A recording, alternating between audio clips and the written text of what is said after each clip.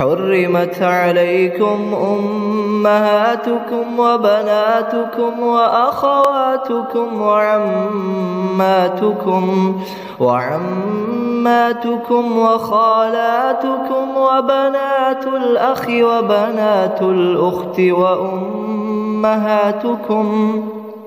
وأمهاتكم اللاتي أرضعنكم وأخواتكم من الرضاعة وأمهات نسائكم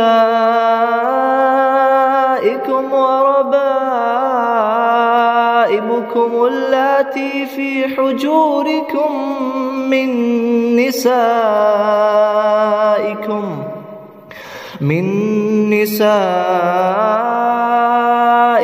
اللاتي دخلتم بهن فإن لم تكونوا دخلتم بهن فلا جناح عليكم وحلائل